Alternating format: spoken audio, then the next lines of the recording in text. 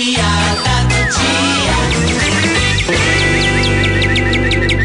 Piada de bicha. Ai, essa piada vai abalar.